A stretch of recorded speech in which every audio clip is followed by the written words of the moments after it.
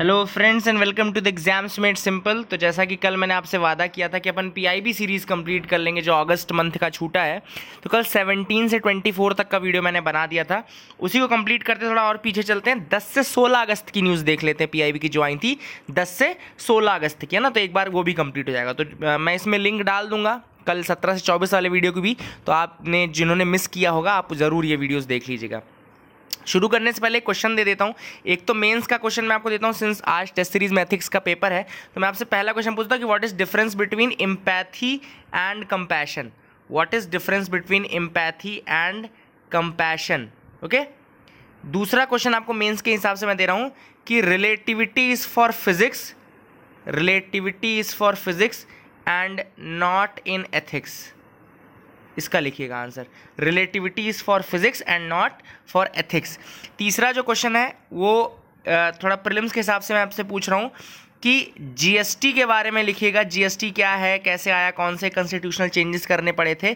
क्यों पूछ रहा हूँ मैं क्वेश्चन क्योंकि अरुण जेटली जी का कल निधन हुआ जैसा कि है। एंड जीएसटी से बहुत ज़्यादा उनका रिलेशन रहा है। तो मे बी कुछ क्वेश्चन हो सकता है जीएसटी के ऊपर आ जाए। तो जीएसटी के ऊपर ज़रूर आप लिखिएगा। तो these are the three questions which I am giving you और ज़रूर ट्राई करना कि इनका आंसर आप कमेंट सेक्शन में करो। So let start with the news analysis the first news is regarding Watan Watan जो है एक पैट्रियाटिक सॉन्ग है जिसको डी यानी कि दूरदर्शन ने रिलीज़ किया था। तो आपसे पूछ सकते हैं कि वतन किसने रिलीज़ किया था, या दूरदर्शन का एक सॉन्ग अभी रिलीज़ हुआ था रिसेंटली क्या नाम था उसका? तो Watan was the song which was release by Doordarshan. And ये सॉन्ग जो है it is free of copyright ताकि it can be shared on all the communication platforms ताकि ये शेयर हो सके बहुत इजीली इसलिए इसको कॉपीराइट फ्री रखा गया है। And it's a patriotic song by Doordarshan Watan. अब दूरदर्शन आपसे कहता है कि प्रसार भारती के अंदर आता है। तो this gives me an opportunity to tell you about the Prasar Bharati as well तो मैं आपको प्रसार भारती के बारे में भी बता देता हूँ। है ना? तो प्रसार भारती की स्टैट्यूटरी ऑटोनॉमस बॉडी है। कैसी बॉडी है? स्टैट्यूटरी ऑटोनॉमस बॉडी है, जो कि बनी कब थी? बनी थी तेईस नवंबर उन्नीस सौ it was it came into existence on twenty third November nineteen 1997 and it is the public service broadcaster of the country. Public service broadcaster of the country. अब देखो बेसिकली प्रसार भारती का जो हायरार्की कुछ तरह चलता है। प्रसार भारती है, उसके नीचे आपका ए आई आर आ जाएगा ऑल इंडिया रेडियो दूसरा आपका आ जाएगा डी डी यानी कि दूरदर्शन। तो दूरदर्शन ए आई आर आता है किसके अंदर? प्रसार भारती के अंदर। अब जो ए आई आर यानी कि ऑल इंडिया रेडियो है तो ये रेडियो वर्जन है। मतलब कि ये सिर्फ़ साउंड वाला वर्जन है, सिर्फ़ सुनाई देता है ना, दिखाई नहीं देता। ऑडियो वर्जन है विजुअल नहीं है। विजुअल के लिए क्या है? दूरदर्शन डीडी है। तो ऑल इंडिया रेडियो जो है, वो 1956 में आकाशवाणी की तरह बना। पहले इसका नाम आकाशवाणी था and it is the national public public radio broadcaster of of India है ना? And it is a division of Prasar Bharati तो नाइनटीन में आकाशवाणी की तरह ऑल इंडिया रेडियो ऑफिशियली आया एंड याद रखिएगा ये जो ऑडियो वाला डिपार्टमेंट है प्रसार भारती का, उसको लीड करता है। दूसरा जो विजुअल है, वो दूरदर्शन है, okay? Doordarshan is the government of India funded public service broadcaster, and इसको ओन कौन करता है? जो ब्रॉडकास्टिंग मिनिस्ट्री है, वो ओन करती है, and it is one of the division of the Prasar Bharati. तो प्रसार भारती के अंदर ये भी आता है। और दूरदर्शन की हम बात करें तो इंडिया का लार्जेस्ट ब्रॉडकास्टिंग ऑर्गेनाइजेशन है in terms of studio and transmitter infrastructure और इसको बनाया गया था स्टैब्लिश किया गया था फिफ्टीन सेप्टेंबर नाइनटीन 1959 15 सितंबर उन्नीस सौ उनसठ को इसको बनाया गया था। दूरदर्शन आया था 1959 में। ऑल इंडिया रेडियो 1956 में आज आकाशवाणी। ये जो है, ये ऑडियो वर्जन है। ये जो है, ये ऑडियो विजुअल। ऑडियो विजुअल, दोनों आता है इसमें ना? तो दूरदर्शन वो हो गया। सेकेंड जो न्यूज़ है, वो है वाइस प्रेसिडेंट की स्पीच से। अभी रिसेंटली वाइस प्रेसिडेंट ने स्पीच दिया और बहुत अलग अलग मुद्दों पर वो बोले। बहुत अच्छी अच्छी बातें थी। ये जो न्यूज़ है, ये आंसर राइटिंग में काम आएगी। पीआईबी आपका बहुत ज़्यादा बहुत ज़्यादा अच्छा अच्छी चीज़ है। वो आपको आंसर राइटिंग भी सिखाता है। वो आपको ये भी बताता है कि किस तरीके से आपको आंसर लिखने हैं, क्या इंपॉर्टेंट फैक्ट्स हैं और क्या यूपीएससी प्रिलिम्स में पूछा जाएगा, वो भी काफ़ी चीज़ें पीआईबी से आती हैं प्रेस इन्फॉर्मेशन ब्यूरो से। तो अब देखना वाइस प्रेसिडेंट ने कितनी सारी चीज़ें, कितनी अच्छी चीज़ें बोली। पहली चीज़ उन्होंने बोली कि सुप्रीम कोर्ट की ब्रांचेस होनी चाहिए। There should be branches of supreme court in various parts of India एक नॉर्थ में होना चाहिए, एक साउथ में होना चाहिए, एक ईस्ट में होना चाहिए, एक वेस्ट में होना चाहिए। इस तरीके से अलग अलग रीजनल बेंचेस होनी चाहिए सुप्रीम कोर्ट की। क्यों होनी चाहिए? क्योंकि हमने कोर्ट सुना है justice delayed is justice denied मतलब अगर जस्टिस टाइम पे नहीं मिलता है तो वो जस्टिस ना मिलने के ही बराबर है। इसको मैंने एक कोर्ट बनाया कि distant justice distant justice is also justice denied मैंने इसको बनाया कि डिस्टेंट जस्टिस मतलब कि अगर जस्टिस दूर है, अब देखो नॉर्थ ईस्ट का कोई बंदा अगर केस करेगा तो उसको सुप्रीम कोर्ट के लिए डेली आना पड़ेगा। कर्नाटका का कोई बंदा करेगा तो उसको डेली आना पड़ेगा। तमिलनाडु का बंदा, उसको डेली केरला का बंदा, उसको डेली गुजरात का बंदा तो डेली ही आना पड़ेगा अगर सुप्रीम कोर्ट के पास जाना है तो कुछ भी कर करने। तो ये बहुत दूर का जस्टिस है मतलब डिस्टेंट जस्टिस है, और बहुत लोगों की हिम्मत नहीं होती कि वो बार बार आके जा सके, वहाँ पे कर सके। इस कारण से सुप्रीम कोर्ट की रीजनल बेंचेस होनी चाहिए।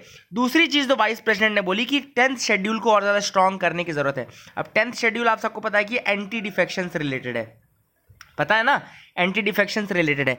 आ, इसके साथ एक काम करना आप कि बाकी के जितने भी शेड्यूल्स हैं उनके बारे में मुझे बताना है ना? कि first schedule second schedule third schedule fourth schedule कौन कौन से हैं क्या क्या काम करते हैं किससे रिलेटेड है ठीक है ना? जैसे एक सैलरी वाला तो उसमें किसकी किसकी सैलरी के बारे में है ओथ अफर्मेशन वाला है तो किसके किसके ओथ अफर्मेशन के बारे में ये अपने आप में एक टॉपिक है क्वेश्चन आता है इससे प्रिलिम्स में। तो ये भी कंप्लीट कर लेना आज के आज ही है ना? तो ये उन्होंने टेंथ शेड्यूल को स्ट्रॉन्ग करने की ज़रूरत है क्योंकि जो डिफेक्शन के केसेस हैं वो बहुत ज़्यादा चल रहे हैं और इस कारण से सफ़र कौन कर रहा है? जनता सफल कर, सफ़र कर रही है है ना? तो डिफेक्शन के केसेस को जल्दी एक्सपीडिटली सॉल्व करना चाहिए। देन उन्होंने मीडिया के लिए बहुत अच्छी बहुत अच्छी चीज़ बोली कि media should be dispassionate watchdog and honest messenger dispassionate watchdog होना चाहिए एंड ऑनेस्ट मैसेंजर होना चाहिए। बिल्कुल उनको ऑनेस्टली के साथ जो मैसेज है उसको कन्वे करना चाहिए, लोगों के तक पहुंचाना चाहिए, उसमें कोई बायसडिस नहीं होनी चाहिए, है ना? देन पाँच डी की बात की है वाइस प्रेसिडेंट ने।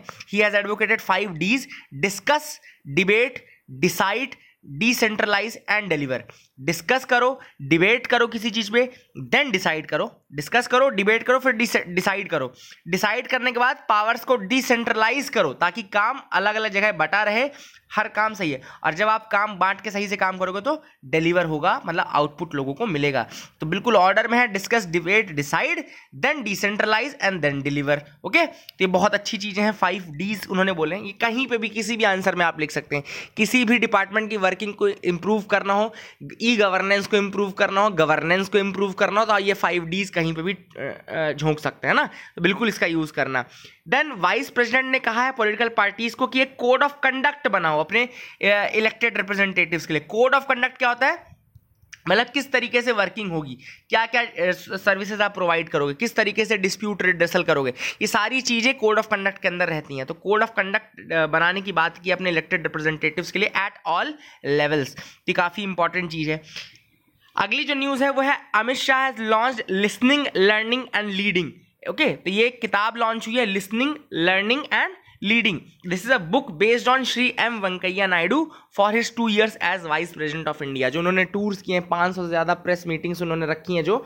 तो उसके ऊपर ये लिसनिंग लर्निंग एंड लीडिंग ये किताब है। आपसे क्वेश्चन पूछ सकते हैं कि लिसनिंग लर्निंग एंड लीडिंग जो किताब है वो किसके ऊपर है? तो ये एम वेंकैया नायडू के ऊपर है for his two years as vice president of India fourth जो न्यूज़ है government issues scheme to provide one time partial credit guarantee to public sector bank for purchase of pooled asset of financially sound NBFCs जो non banking financial companies हैं N B NBFCs यानी non banking financial companies corporation है ना NBFCs non banking ये non banking होती है। मतलब ये काम सारे बैंक जैसे करती हैं बट ये शेड्यूल बैंक्स में नहीं आते कैटेगरी में नहीं आते बैंक्स कैटेगरी में, है ना? तो इनका एक्ट दूसरा है। ये आपके आरबीआई एक्ट और इन सबसे पूरे तरीके से उसके कंट्रोल में नहीं रहते हैं ना? ये आपको याद रखना है। और एन uh, में एक प्रॉब्लम चल रही थी अभी रिसेंटली जो मैंने डिस्कस भी की थी वो प्रॉब्लम थी लिक्विडिटी की प्रॉब्लम है ना? इनके पास कैश नहीं था। अब लिक्विडिटी की प्रॉब्लम थी कैश ज़्यादा नहीं था तो ये एमएसएमई यानी कि जो मीडियम स्मॉल इंटरप्राइजेस थी उनकी मदद नहीं कर पा रहे थे ओके एमएसएमईज की मदद नहीं कर पा रहे थे। तो उस कैश की समस्या को दूर करने के लिए one time partial credit guarantee scheme लाई गई है पीएसबीज के पास। इससे होगा क्या कि पब्लिक सेक्टर बैंक्स जो हैं the public sector banks can purchase the pooled assets of financially sound NBFCs जो कुछ एनबीएफसी फाइनेंशियली साउंड है, उनके पूल्ड एसेट्स को खरीदने के लिए पब्लिक सेक्टर बैंक्स को मोटिवेट किया जा रहा है। और पब्लिक सेक्टर बैंक जो है, अगर उनको खरीदते हैं तो क्या बेनिफिट एनबीएफसीज को मिलेगा? कि उनके पास कैश आ जाएगा। अब एनबीएफसीज के पास कैश आएगा तो मतलब उनके पास लिक्विडिटी बढ़ जाएगी। जब लिक्विडिटी बढ़ जाएगी तो वो एमएसएमई सेक्टर की मदद कर सकते हैं। तो ऐसे एनबीएफसीज जिनके फाइनेंशियल कंडीशन थोड़ा ठीक है, उनके पूल्ड एसेट्स को खरीदने के लिए पब्लिक सेक्टर बैंक्स आगे आएँगे। और जब वो उनको खरीदेंगे तो एन को मिलेगा पैसा, मिलेगा कैश जब कैश उनके पास आएगा तो लिक्विडिटी बढ़ेगी। लिक्विडिटी बढ़ेगी तो वो आगे एमएसएमई सेक्टर के पास पैसा भेज सकते हैं और उनको आगे प्रमोट कर सकते हैं। This is will the benefit okay Hardeep, Puri launches the Swachh Survekshan 2020 अब स्वच्छ स्वच्छ सर्वेक्षण आप सब जानते हैं। इंदौर, हर बार मध्य प्रदेश का टॉप आ जाता है ना? तो वही फिर से लॉन्च कर दिया गया है। फिफ्थ एडिशन होगा ये क्लीनिनेस सर्वे कहते हैं। इसको कंडक्ट कौन करता है? Ministry of housing and urban affairs तो ये इंपॉर्टेंट है, कौन सी मिनिस्ट्री कंडक्ट करती है Swachh Survekshan? Ministry of housing and urban affairs तो महुआ आप बोल सकते हैं ministry of housing and urban affairs ये इसको कंडक्ट करती है। स्वच्छ सर्वेक्षण ट्वेंटी ट्वेंटी फिफ्थ एडिशन होगा। अब एक न्यूज़ आई थी क्लासिकल लैंग्वेजेस से रिलेटेड तो मैं आपको क्लासिकल लैंग्वेजेस बता देता हूँ इंडिया की कौन कौन सी हैं? इंडिया में छह क्लासिकल लैंग्वेजेस हैं, बहुत इंपॉर्टेंट है। यूपीएससी ने ऑलरेडी प्रिलिम्स में पूछा ये क्वेश्चन है। है ना? यूपीएससी का आप तेरह चौदह आई थिंक तेरह चौदह या पंद्रह में, बारह तेरह चौदह में पेपर देखना आप यूपीएससी का। प्रिलिम्स का क्वेश्चन है कि इनमें से कौन सी लैंग्वेज क्लासिकल लैंग्वेज नहीं है? क्वेश्चन आया था। तो मैं आपको बता दूँ छः लैंग्वेजेस हैं जो कि क्लासिकल लैंग्वेजेस हैं। वो छः लैंग्वेजेस हैं एक है तमिल 2004 से, फिर संस्कृत 2005 से, तेलुगु 2008 से, कन्नडा 2008 से, मलयालम 2013 से, उड़िया 2014 से। उड़िया लोगों को कंफ्यूज करती है सबसे अधिक। तो उड़िया लैंग्वेज जो है वो क्लासिकल लैंग्वेज है। याद रखेगा there are six classical language only Tamil, Sanskrit Telugu, Kannada, Malayalam, Odia. Bengali नहीं है। लोग बंगाली में कन्फ्यूज़ रहते हैं। गुजराती नहीं है। मराठी नहीं है। ये सब क्लासिकल नहीं है। तो क्लासिकल लैंग्वेजेस केवल छः हैं। Tamil, Sanskrit, Telugu, Kannada, Malayalam and Odia.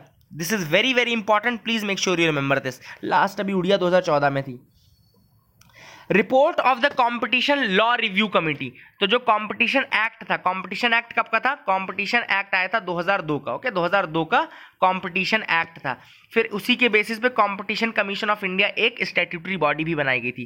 Competition act कब का है? 2002 का एक्ट है। कंपटीशन एक्ट बेसिकली है क्या? कि जैसे दो कंपनी काम कर रही है, एक एक्स कंपनी है, एक वाई कंपनी है।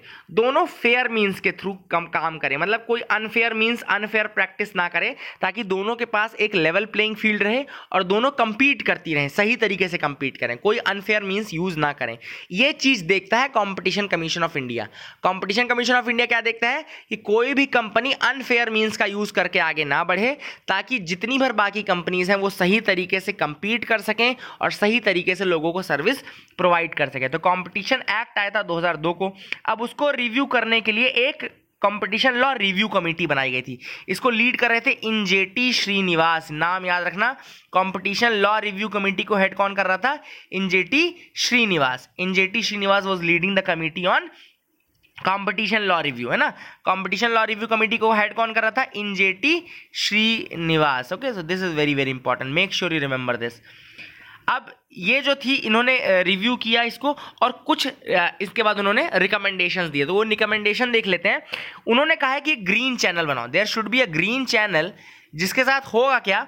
ग्रीन चैनल के थ्रू आप मर्जर और को फास्ट करो। उनके अप्रूवल की प्रोसेस को फास्ट करो। मतलब बहुत सारे चीज़ें ऐसी हैं जो मर्जर एक्विजिशन को रोक के रखती हैं और उस कारण से बहुत ज़्यादा काम इफ़ेक्ट होता है कंपनीज़ का।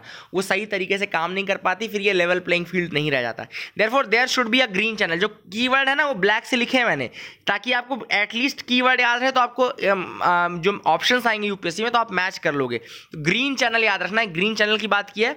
For fast paced approval of merger and acquisition जो कंपनीज़ मर्ज होती है ना, दो कंपनी आपस में मिल गई, या एक कंपनी ने दूसरी कंपनी खरीद ली, इसको तेज करने के लिए ग्रीन चैनल की बात की है। दूसरी चीज़ उन्होंने कहा है कि एन जो national company law appellate tribunal है, उसकी एक डेडिकेटेड बेंच होनी चाहिए जो कि कॉम्पिटिशन एक्ट के केसेस को देखेगी, ताकि जो जस्टिस है वो जल्दी मिल सके और डिस्प्यूट रेजोल्यूशन जो है वो और ज़्यादा जल्दी हो सके। तो national company law appellate tribunal जो है, उसकी एक डेडिकेटेड बेंच होनी चाहिए, जो कि सिर्फ़ और सिर्फ़ कंपटीशन एक्ट को देखेगी। तीसरी चीज़ उन्होंने बोली है, एक इन्फोर्समेंट मैकेनिज्म होना चाहिए फॉर सेटलमेंट ऑफ़ कमिटमेंट्स जो कमिटमेंट करते हैं कोई कंपनी और उसको अगर पूरा नहीं करती है तो उस, उनको सेटलमेंट उनको सेटल करने के लिए एक इन्फोर्समेंट मैकेनिज्म होना चाहिए, ताकि जो कमिटमेंट्स हैं उनको बिल्कुल अच्छी तरीके से इन्फोर्स किया जा सके। अगर ये चीज़ होगी तो एंटी कॉम्पिटिटिव कंडक्ट जो है वो कम रहेंगे और रेजोल्यूशन ज़्यादा जल्दी हो पाएगा। तो ये दो तीन रिकमेंडेशन हैं जो company competition law review committee Injeti Srinivas जिसको हेड कर रहे थे, उन्होंने किए हैं। दीज आर वेरी इंपॉर्टेंट इनको याद रखना। Shri Piyush Goyal Piyush Goyal has launch CORAS अब उन्होंने कोरस लॉन्च किया commandos for railway security what is CORAS commandos for railway security security अब ये इंडियन रेलवेज के लिए कोरस टीम क्या है? बेसिकली इनको बहुत ज़्यादा अच्छी ट्रेनिंग और मोस्ट मॉडर्न इक्विपमेंट्स और वर्ल्ड क्लास ट्रेनिंग प्रोवाइड की जाएगी। इस तरीके से कमांडो ट्रेनिंग प्रोवाइड की जाएगी।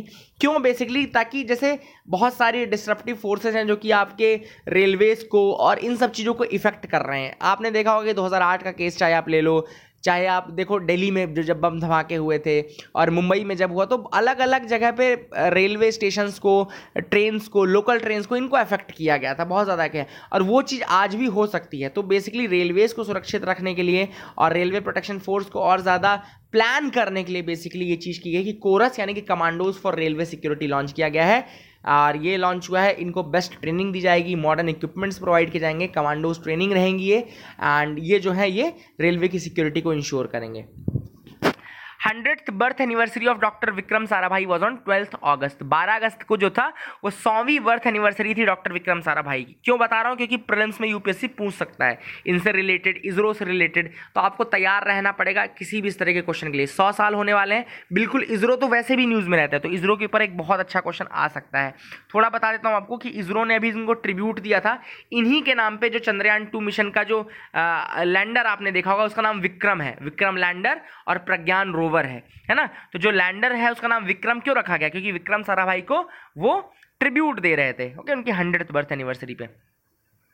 इसरो जब बना था, वो था 1969 में इसरो बना था, उन्नीस सौ उनहत्तर में इसरो बना था एंड इसने रिप्लेस किया था Indian national committee for space research जिसको इनकोस पार बोलते हैं। तो 1969 में बना था इसरो, इसने रिप्लेस किसको किया था? इनकोस पार को, जिसको बोलते हैं Indian national committee for space research और ये जो इनकोस पार था, ये 1962 में बना था। इसका मतलब हुआ क्या? डायग्रामेटिकली बता दूँ 1962 में क्या बना? इनकोस पार इनको स्पार है ना? ये 1969 में क्या बन गया? इसरो। ओके? ये याद रखना। फ़र्स्ट जो सैटेलाइट थी इसरो की, वो थी Aryabhata. Okay ISRO built India first satellite Aryabhata which was launch by Soviet Union इसको लॉन्च हुआ था सोवियत यूनियन से नाइनटीन अप्रैल 1975 1975 में लॉन्च की गई थी। और जो पहली सेटेलाइट जो इंडिया की मतलब इंडियन मेड लॉन्च व्हीकल से रखी गई, वो थी रोहिणी रोहिणी जो थी, वो फ़र्स्ट इंडियन थी, जो कि इंडियन से रखी गई थी। वरना जो आर्यभट्टा थी, वो फ़र्स्ट थी, लेकिन वो लॉन्च सोवियत यूनियन द्वारा की गई थी। एंड विक्रम साराभाई जो थे, वो चीफ आर्किटेक्ट थे इंडियन स्पेस प्रोग्राम के। इंडियन स्पेस प्रोग्राम को उनको पितामह भी बोल सकते हैं आप। ठीक है तो विक्रम साराभाई थे, जो कि इंडियन स्पेस प्रोग्राम के पितामह कहे जाते हैं। And he was the first ISRO chief and renowned cosmic ray scientist वो कॉस्मिक रे साइंटिस्ट थे एंड वो इसरो के पहले चीफ भी थे। जो लास्ट न्यूज़ है, वो है 41 percent reduction in stubble burning incidents in 2018 over 2016 तो स्टबल बर्निंग का केस आपको पता है, पंजाब हरियाणा रीजन में बहुत ज़्यादा स्टबल बर्निंग होती है है ना? क्योंकि इसका अल्टरनेटिव ज़्यादा उनके पास है नहीं और ये फास्ट प्रोसेस है, बहुत जल्दी स्टबल को कंप्लीट सॉल्व करने की प्रोसेस है।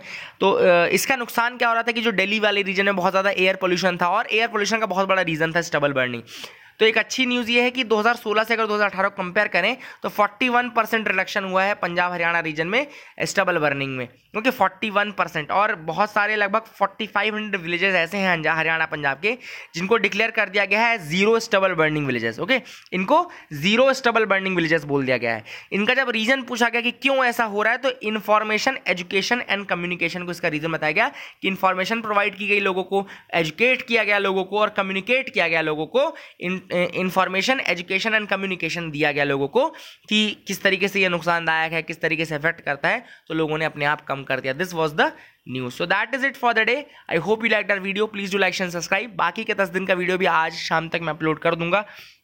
तो आपका पी भी लगभग अगस्त का अपन निपटा लेंगे। तो उसके लिए टेंशन मत लेना। जो भी इंपॉर्टेंट न्यूज़ है, ये जो पॉइंट्स मैं बताता हूँ, इनको ज़रूर दिमाग में रखना, ध्यान में रखना। और I hope you are getting clarity on this so that is it for the day thank you and have a nice day